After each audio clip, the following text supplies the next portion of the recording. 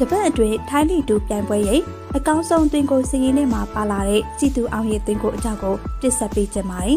။ထိုင်းလီတူပွဲစဉ်19ရက်ပွဲစဉ်များအားလုံးရှင်မြိုင်ကစားအပြီးမှာတော့သွင်းကိုပေါင်း25ကိုအထိရှိခဲ့ပြီးအဆိုပါသွင်းကိုများတဲ့မှာမှာထိုင်းလီတာဝန်ရှိသူများရွေးချယ်တဲ့သွင်းကို5ကိုစည်ရင်းကိုထိုင်းလီတူရဲ့ official page ကနေထုတ်ပြန်ကြေညာလိုက်ပြီးစီတူအောင်ရဲ့အသင်းကိုလည်းပါဝင်လာခဲ့ပါတ ယ်။မော့ဘရာကန် SC အသင်းရဲ့တောင်မန်ကစားသမားစီတူအောင်ဟာတရားထိန်ဆုံးမှနခိုစီ United အသင်းနဲ့အရှင်ပြိုင်ကစားတဲ့ပွဲစဉ်မှာ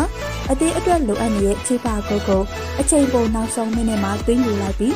ပြိုင်ဘက်အသင်းရဲ့အသေးကိုခွဲလိုက်တဲ့ဂိုးပဲဖြစ်ပါတယ်။စီတူအောင်ဟာအသင်းခေါ်ရဲ့ဖြတ်တင်ပေးဖို့မှုကိုတစ်ချက်ထိပြီးဘယ်ချင်းနဲ့လှလှပပသွင်းယူလိုက်တာပဲဖြစ်ပါတယ်။